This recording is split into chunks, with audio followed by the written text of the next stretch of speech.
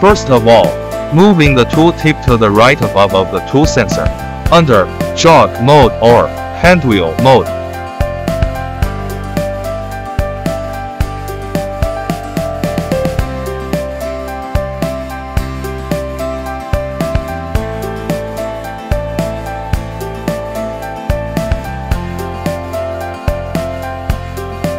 One, press REF point button.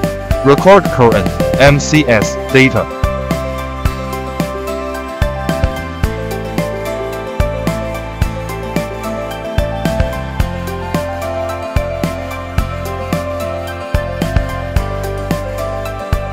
Two, press offset. Then press R1. 3. Press search input 167.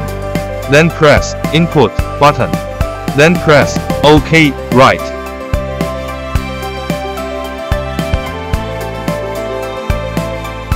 The number 167 data is the x-axis tool setting precision date.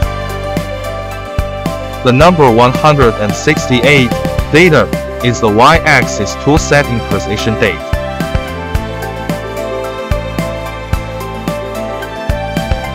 Input the MCS data into R167 and R168.